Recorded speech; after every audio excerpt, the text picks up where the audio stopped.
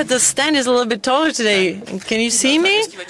Uh, no? All right. Well, it's not good evening. I'll be here tonight too, but now good afternoon, or not even that. Oh yes, it is afternoon. It is PM now.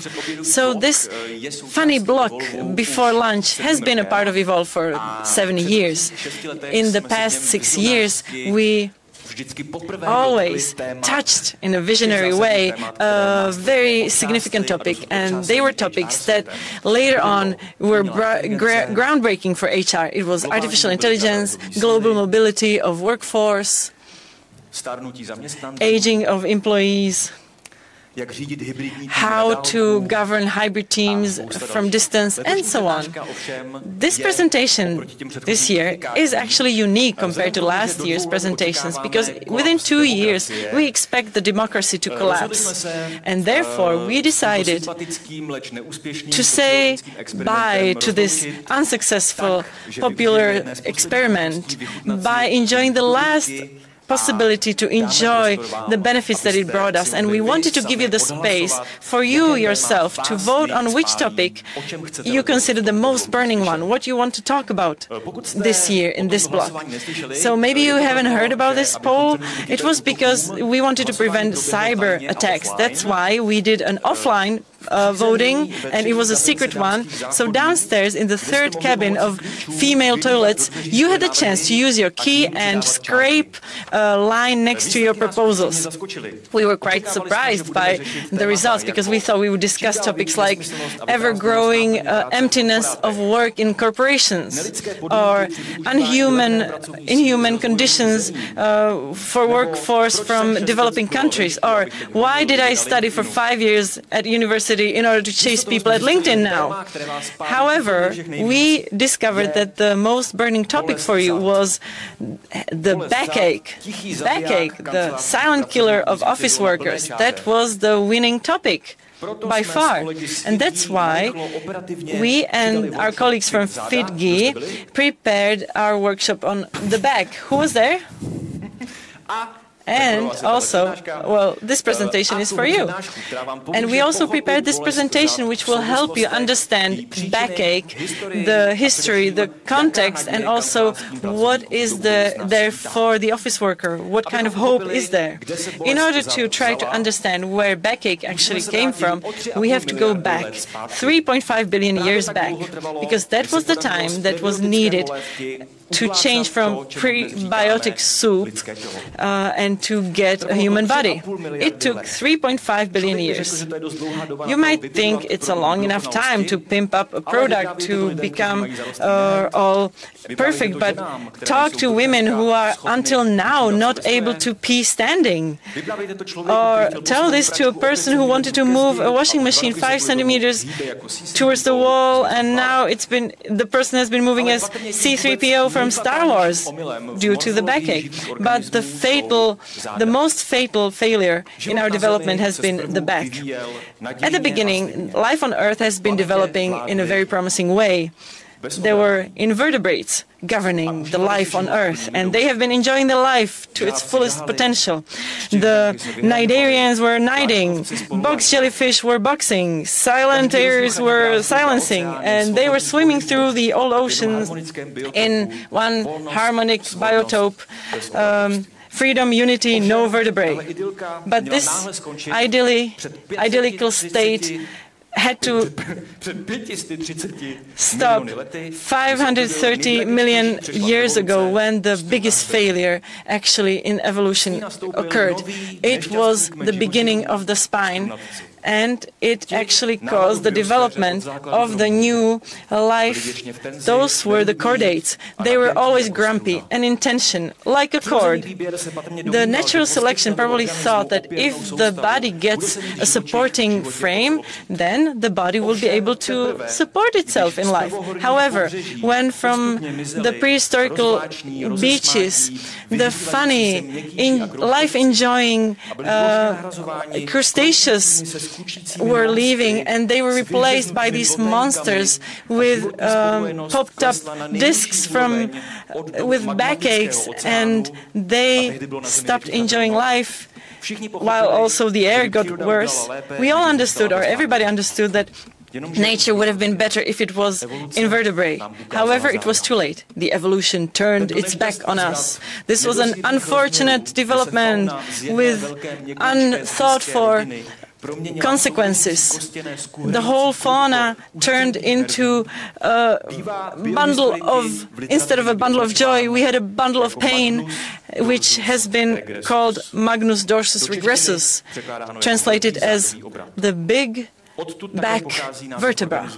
This is also the name of the organisms that feel the pain the most, the vertebrae, the vertebrates. Of course, the biggest of them were suffering the most because their spine were, was longer, longer than HR conferences. For example, a brontosaurus had a 30 meter long uh, spine. It is like 50 human bodies lying on the back. When this person got a backache, it was like 10 people hurting. And so if nature actually put this in your destiny, then no wonder that one day you wake up and you say, screw that, and I'm going to... Uh, I'm going to extinct, extinct. The mammals were smaller, and therefore they managed to live until today because their spine was a little bit smaller. Unfortunately, one mammal was more bold than others, and one day it decided not to stay on ground and stood up on the back feet. Their hand got free to create tools and to masturbate, and it erected a 40-story tower, which 80% of their children uh, endowed with suffering.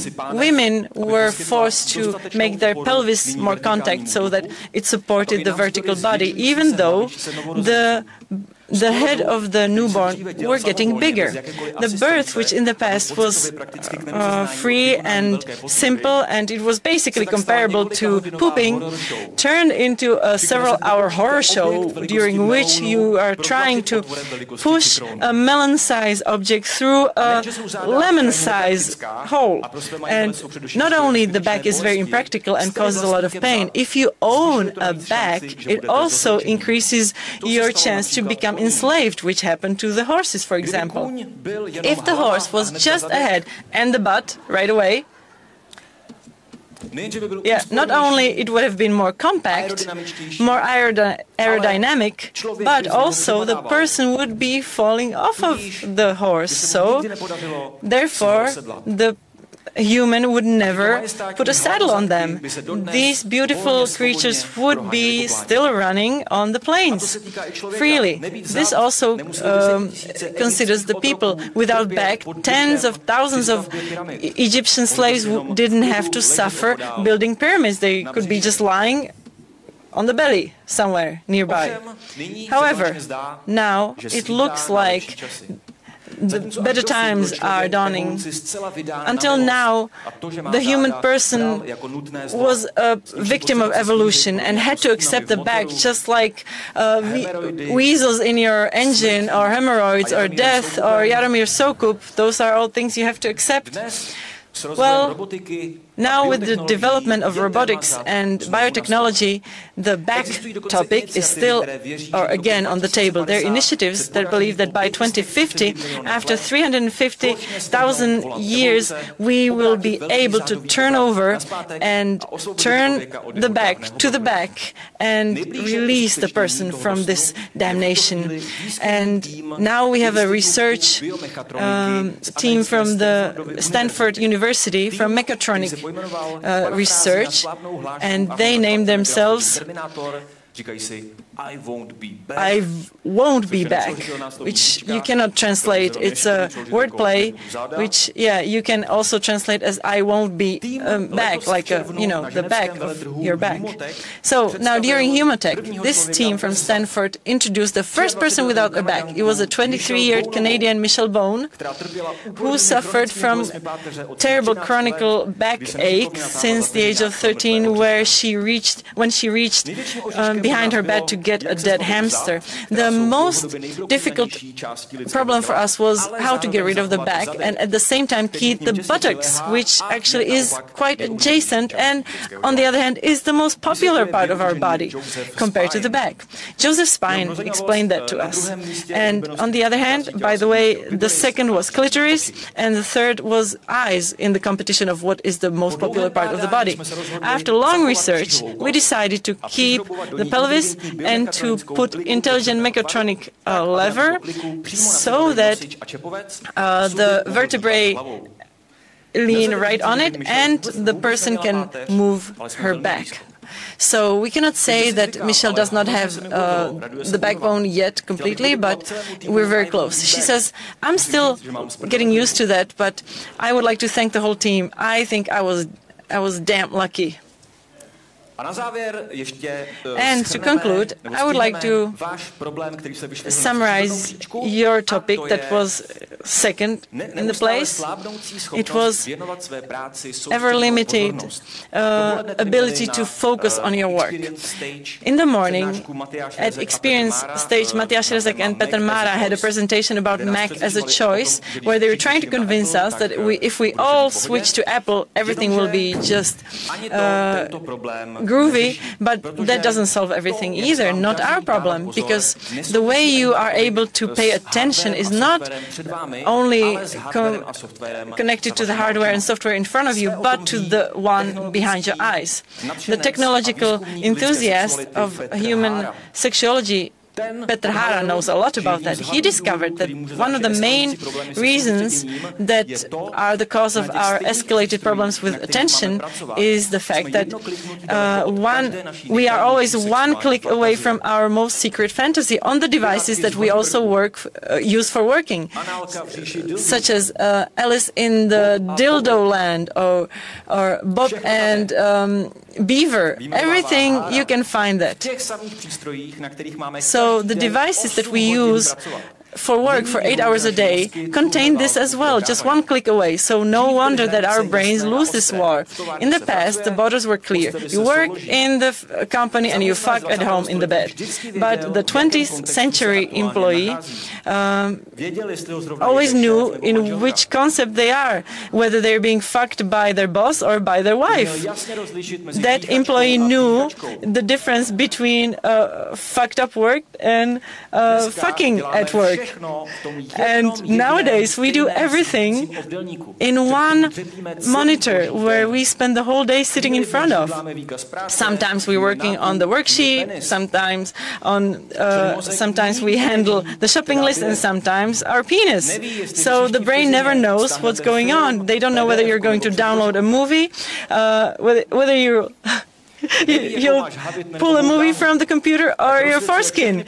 So your brain doesn't know what to do. It keeps hitting all the switches and we are unable to focus for five minutes. So this confusion was not present during our history. It's like as if in Middle Ages you wanted them to mow your lawn and you would give the people uh, people tools with dildos. They wouldn't know what to do either. But if the employer gives you a notebook, they give you exactly that. It's a uh, it's exactly this dildo sickle. But Petr Hára doesn't stop with this topic. He also wants to uh, do a practical move against or to support human attention. We're trying to change the legislation so that pornography is only available on one brand of devices. From 2028, you should not be able to access porn from any other device. The reason why is this, because the situation where we are is unbearable. Imagine that you want to read uh, Pride and Prejudice, which you have always wanted to read, but it's just one click away from Jane Austen uh, or Jane Austen talking about the manners of uh, All England is just one click away from uh, a famous actress being um, loaded by a group of black people. So how far would you read? The fact that we have porn books and magazines away and separated there's a reason for that. If we want to stop the degradation of our uh, human dynasty, we need to focus on this. The biggest tech players are entering this field. The first range of these devices, which will also have an inbuilt tank for coconut oil and um, wet napkins built to the side, will have this name. Thank you for your attention.